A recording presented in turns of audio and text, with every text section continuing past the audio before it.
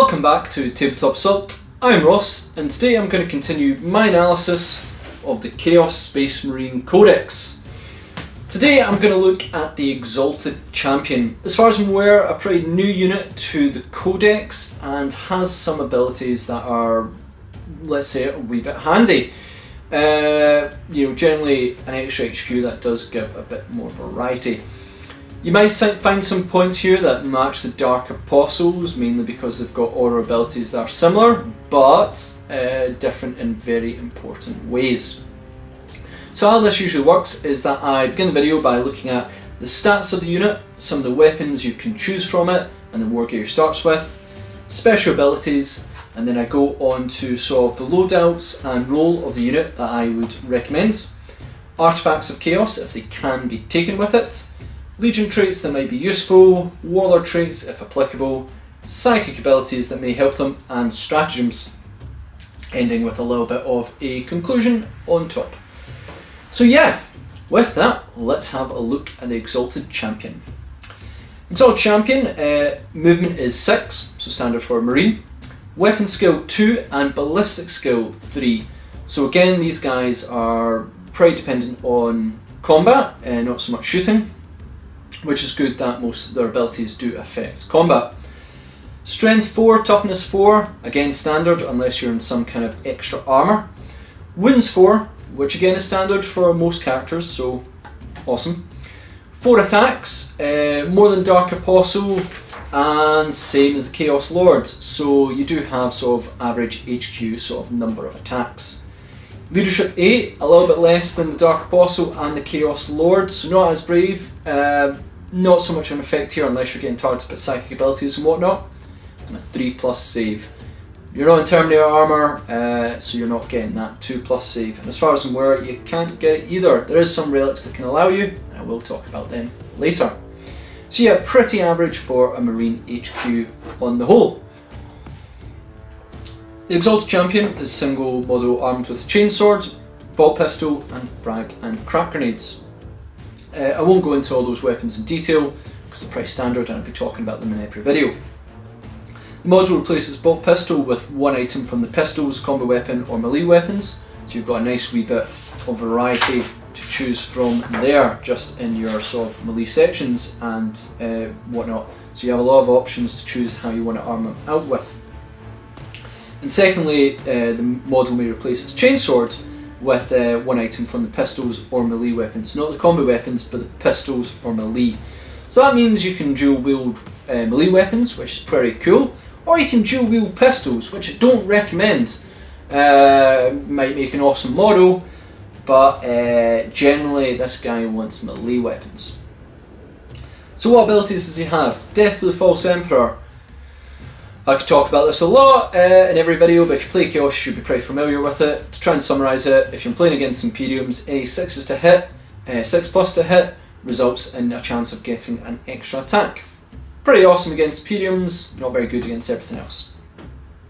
Aspire to Glory. You can reroll failed rolls in the fight phase for friendly Legion units that are within 6 inches of the Exalted Champion. This is a pretty important ability, being able to reroll uh, wound rolls. Now it's all wound rolls in the fight phase, so I think uh, I could be wrong here because I don't know Space Marines. I think they've got a lieutenant or something that allows like reroll ones, and it does affect maybe shooting and fight. I could be very wrong in that one. Now this is all wound rolls in the fight phase, so that's kind of handy because uh, there's not many ways to improve to wound rolls in most codexes. Uh, we do have a very good one in Veterans of Long War as a stratagem, but uh, this guy allows you to reroll those wounds, so that's very, very important. And finally, uh, for the Dark Gods, you can reroll failed hit rolls for this model if the target is an enemy character. So it makes him sort of a duelist in that way, where basically if you're going off against a character, not only do you reroll hits, which you're hit on 2 plus as is, uh, you get to reroll those wounds as well, which makes him kind of a wee bit dangerous on that side. So yeah, that is the Exalted Champion as they appear in the Codex. Now I'm going to talk about sort of uh, the various ways in which I would play them. So let's begin with the loadouts and suggested roles of the sort of uh, Exalted Champion. So the first loadout I call is you do the stabbing. Exalted Champion with bolt pistol, chainsword, frag and crack grenades. So this is your cheap option for buffing units. The Exalted Champion gets an extra attack in combat from the Chainsword, but really want to just keep him cheap and, uh, cheap and cheerful uh, so that you know other units around him just get the buff and they do the damage. Don't expect him to do so much of the heavy lifting. But then again, at four attacks, maybe you want him to do some damage. You know, it's you know he does have a bunch of attacks and he's most likely going to be around the combat area. So the next one I call is I want to do the stabbing too. Exalted Champion with Bolt Pistol, Power Sword, Slash, Power Fist, Frag and Crack Grenades, or Power Sword, basically a power weapon of some type.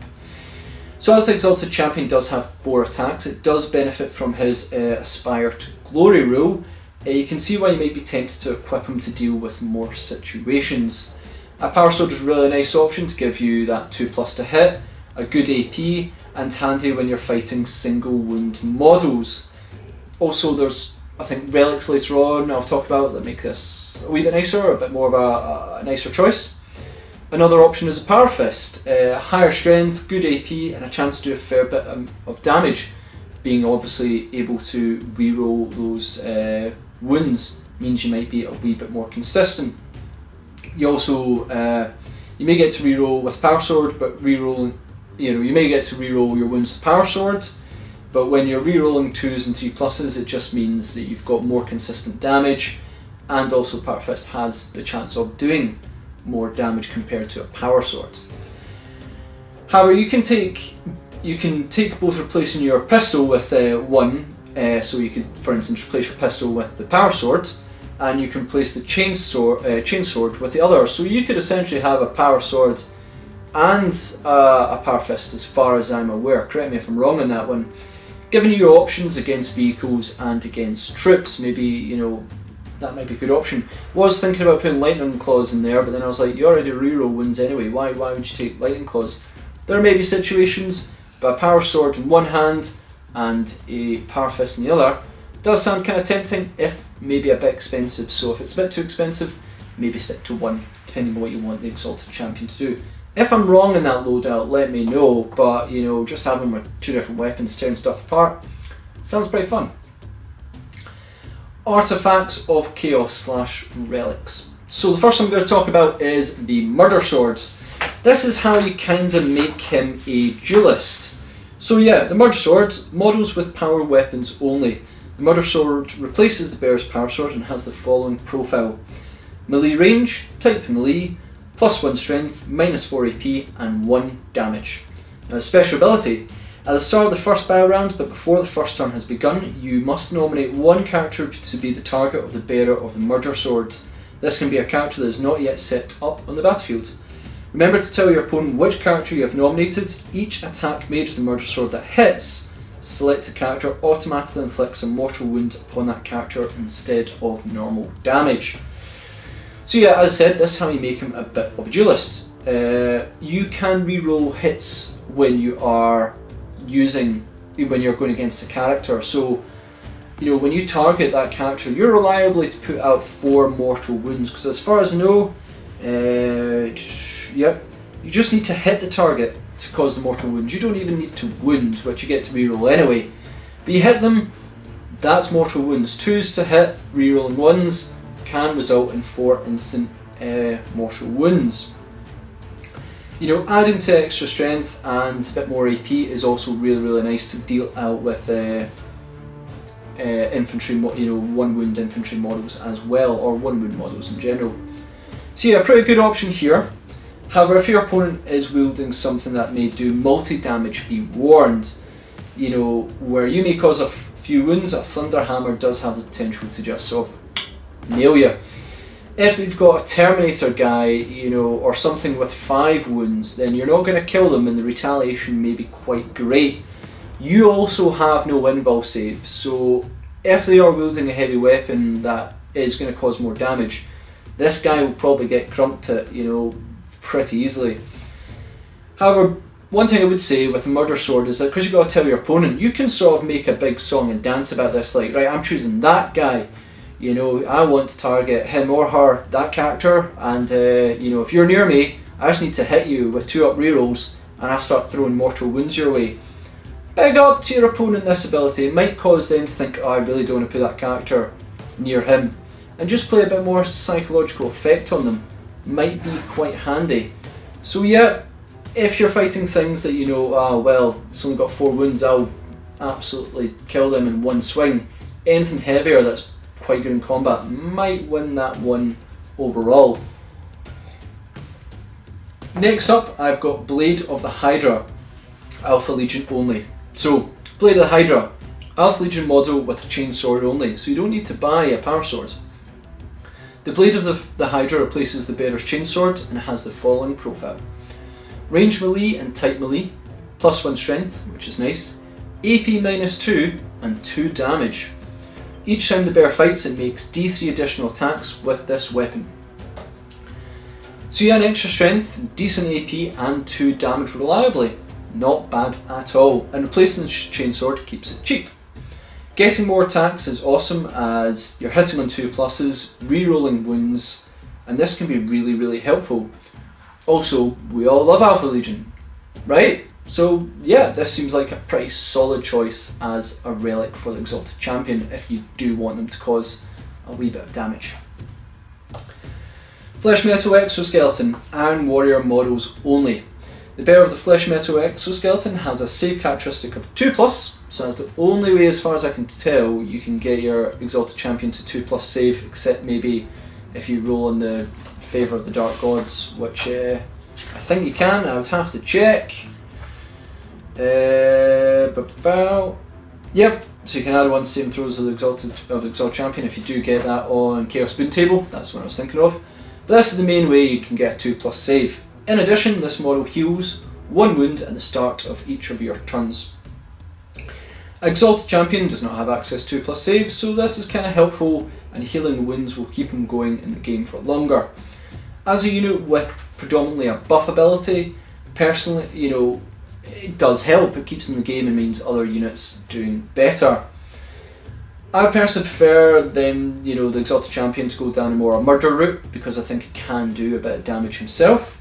But you know, even with an extra turn of those rerolls to hit, uh, sorry, rerolls to wounds, it can be very beneficial. Just one more turn can really make a huge difference.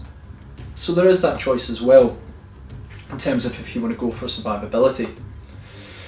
Legion traits. As the Exalted Champion is a murder buffing machine, in the fight phase you can bet there's some Legion traits that will help.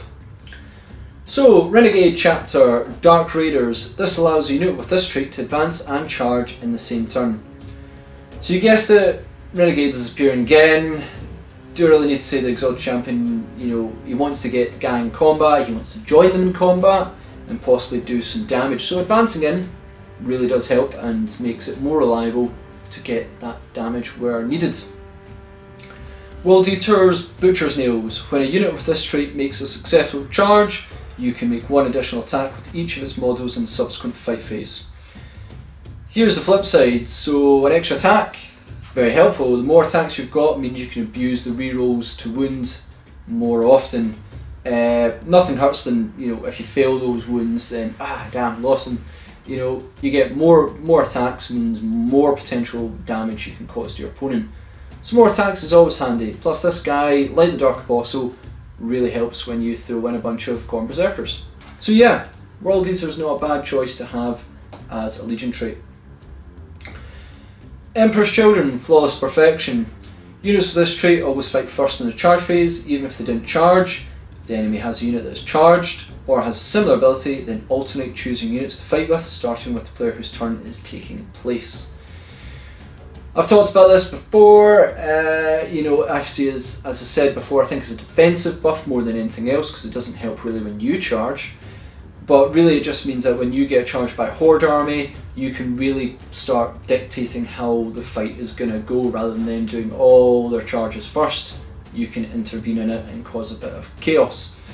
So yeah, that's handy as well because you get the rerolls to wounds. It just means that, you know, if you do get charged, then yeah, Exalted Champion can help there as well.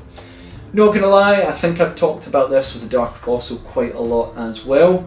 Another one I would mention is the Sov Alpha Legion 1, because I do speak about Alpha Legion being quite useful, Exalted Champion a few times here. and that obviously I won't go into that one in detail, but basically, you know, there is you know more stratagems and relics that help him through uh, being an Alpha Legion. Not so much the ability from Legion, but the stratagems which I'll go into and the relics. Warlord traits. Although an Exalted Champion may not seem like the reliable sort of warlord compare, compared to, say, a Demon Prince, he can get some use out of abilities. Maybe a special character is bringing a warlord trait that is not much use to you, or not that reliable, uh, then yeah, Exalted Champion does have some warlord traits that can help.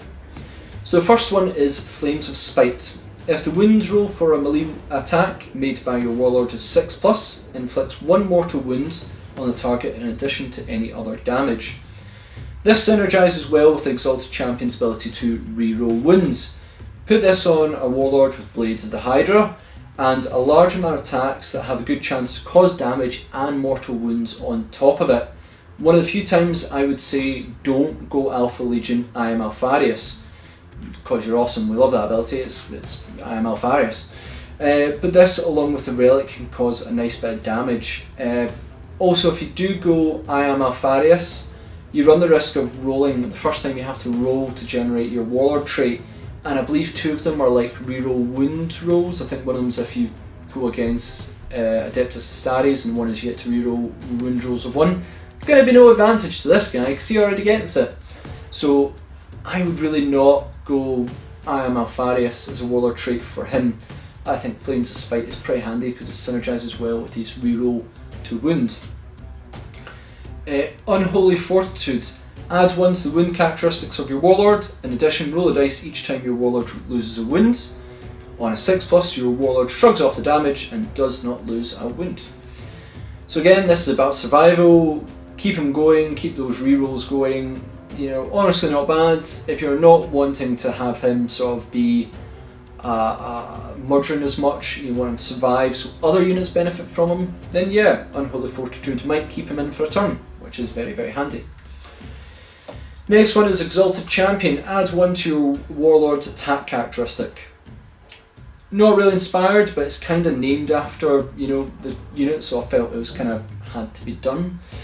Uh, if you are planning high damage with say a power fist or something, or you know using blade of the Hydra, then you know simply more attacks is a good thing, you know, and you don't need to do any special circumstances to activate it. Um, it just gives you plus one to your attack characteristic.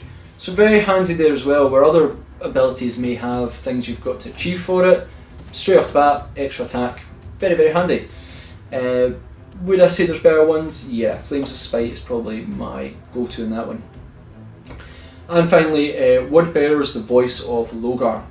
Increase the range of aura abilities on your Warlord stage sheet by 3 inches.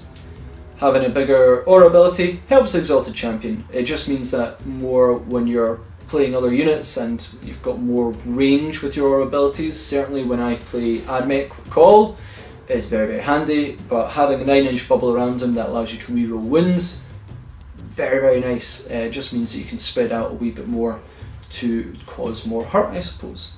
So yeah, not bad, just means that you get a bit more freedom with your spacing. Psychic abilities. Uh, Diabolic Strength, Warp Charge 6. Select a Heretic Astartes model within 12 inches of the Psyker until the next psychic phase, add 2 to the model's strength and 1 to the model's attack characteristic. The Exalted Champion uh, is a bit harder to bring to that all important strength 8, but more importantly, let's say with the Power Sword, it can bring an AP, uh, it can bring down uh, the AP extensively. So the AP of Power Sword is great. More strength means generally you will wound better, though you do get to reroll your wounds.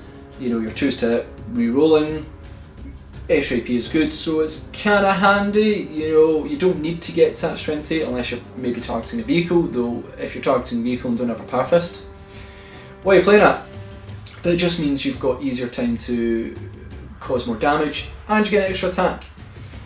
Is there more viable units than this in this codex? Yeah, Demon Prince, sure. Uh, that one helps. But still, you know, it's still really handy and you don't need to get to that all important strength 8 for this to be truly truly effective which I usually say with diabolic strength it should be all about getting to the strength 8 Death Hex, Warp Charge 8. If manifested, selects a uh, visible enemy unit within 12 inches of the Psyker. Until the start of the next Psychic phase, the, that unit cannot take invuln saves. So again, this does not actually affect the Exalted Champion. I think I said the exact same ones for the Dark Apostle, but the Dark Apostle does get Strength 8. But more importantly, the unit you are uh, sort of going along with. Involves can be a pain, so when you've got you know extra chances to cause more wounds and in essence more damage, you don't want three up, you know, thunder shields, you know, uh, storm shields, saving them so yeah, you know, negating that sort of uh, uh, invuln save is very, very, very handy. So I always think if you've got a good hard hitting unit, but you know your opponent's got a lot of invuln saves, this is a pretty solid one to have. And to have an Exalted Champion go along with them will just guarantee the Psyker and the Exalted Champion will bring their points back by another unit, causing the damage. Although saying that, the Exalted Champion uh, can maybe duel someone off who's got uh, uh, an invuln save. If you have the Murder Sword, not so much because you just cause the mortal wounds. Blade of the Hydra though, can be quite a scary prospect. Stratagem recommendations. So here we go. Alpha Legion, uh, forward operations, Alpha Legion only. Again, as usual, I'm not going to explain this one. It's quite quite long, but this is basically your sort of infiltration stratagem. Uh, like the Dark Apostle, Exalted Champion does not have access to a jump pack or deep strike in real any way. So this is a way to get your mobility, to maybe spend a command point on a character to go along with another killer unit. So you've got a unit of Khorne Berserkers in your Alpha Legion or Chosen with Lightning Claws.